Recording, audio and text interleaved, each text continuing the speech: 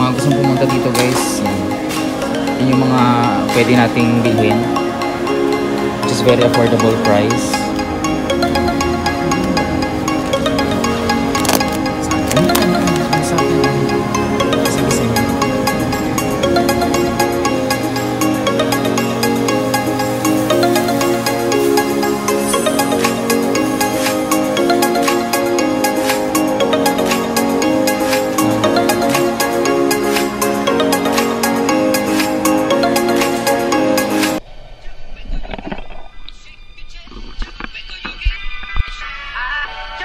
Your hip and shake your chest. Just, just, just, just wiggle your hip and shake your chest. Just wiggle your hip and shake. I just wiggle your hip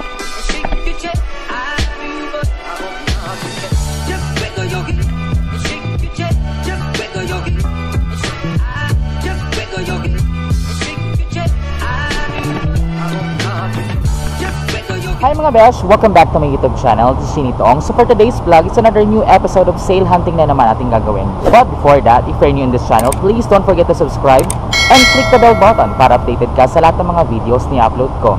So yun ako napatagalin to, so let's watch this. Na OFW mga best sheets, uh, very hard part for me because uh, it's very far from my family. As per my uh, decision, uh, I'm happy because uh, this is what I'm looking for. Kasi sa sobrang dami kong na-experience dito sa Saudi Arabia, at the same time sa Philippines, uh, actually, uh, I start uh, with age of 24 nung nag uh, Arabia or nag maging OFW ako. But for now, um, I'm really happy because uh, eh paano nakapag-invest na rin sa Pinas. At the same time, um, sobrang laking impact sa akin kasi ang daming na-develop sa akin.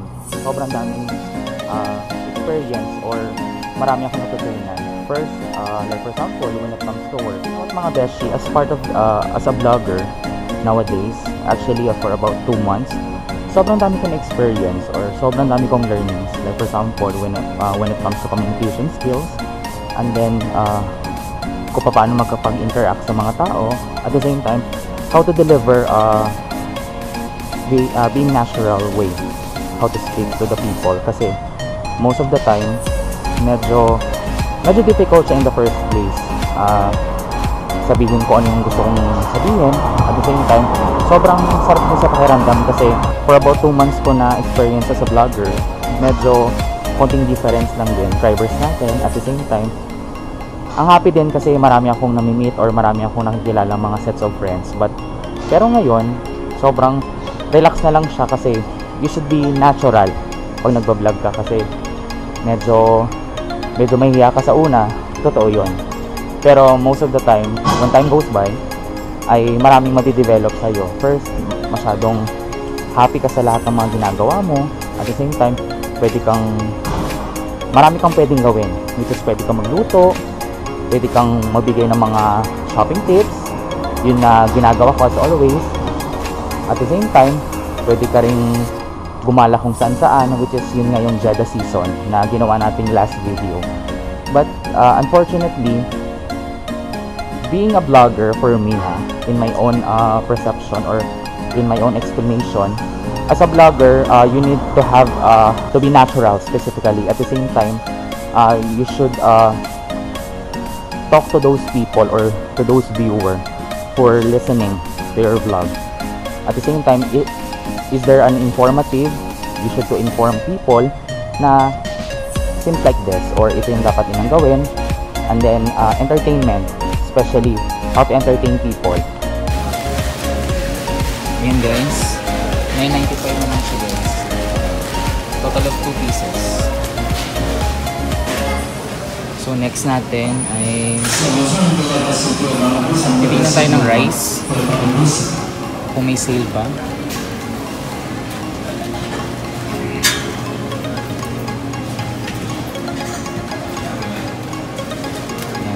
Itong rice guys, it's 5 kilos. So, it's uh, 18.95. And also the chicken, yan. Mga nakasale lahat yan guys.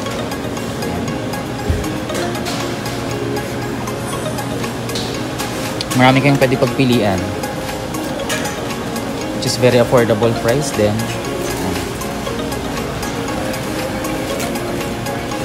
So titingin tayo ngayon ng mga beef or meat. Magkano?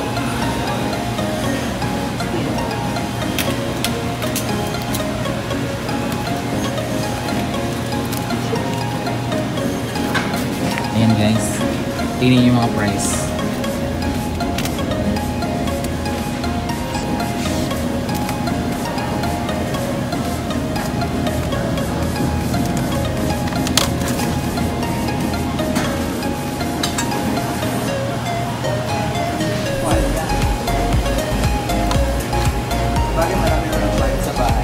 Oo.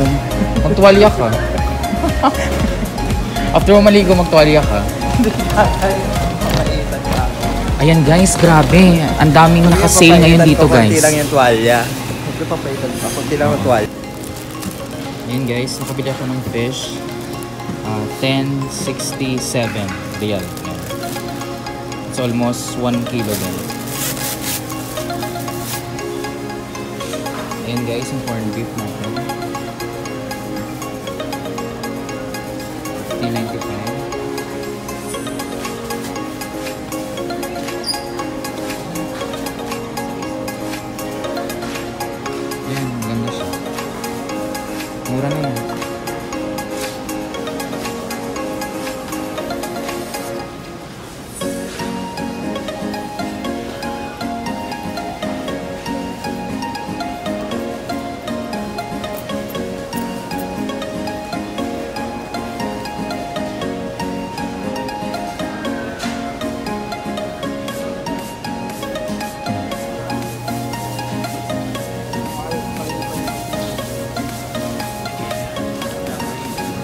Ayan guys.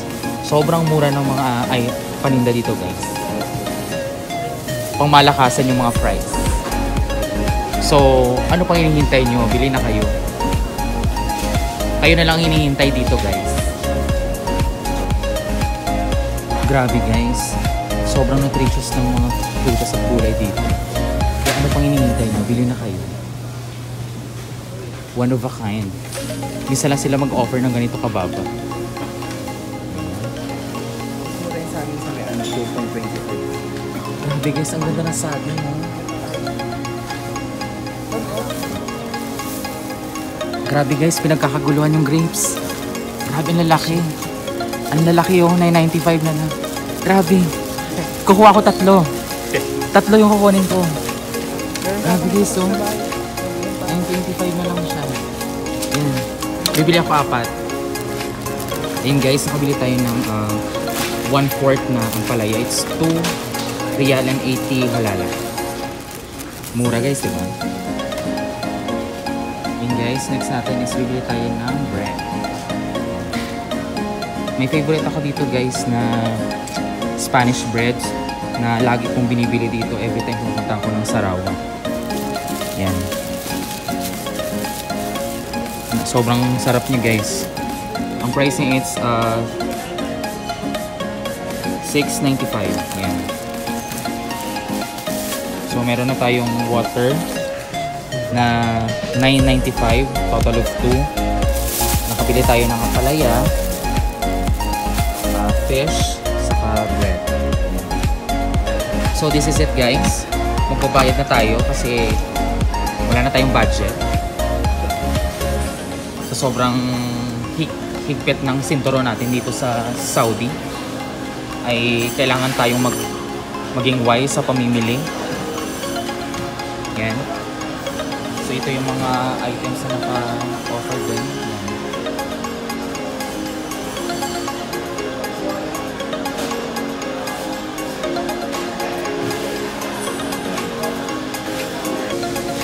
Ayun guys, kung gusto nyo kumain dito, maraming Filipino ah, food ang pwede nyong pagpilian. So, nandito tayo ngayon sa Kabalen.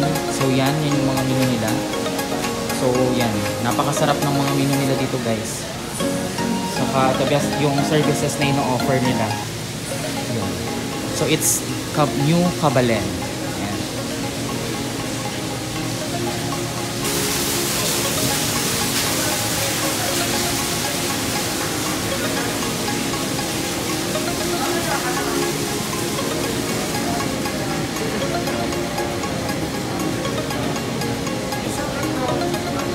Ayan, kung gusto nyo magpadala guys, may, meron ding LBC. Ayan. Napakamura lang ng mga rates nila.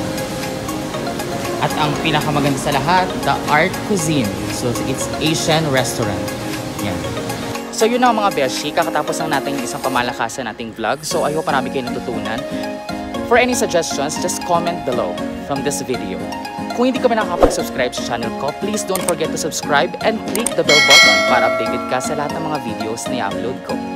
So mga beshi, thank you for watching. Goodbye!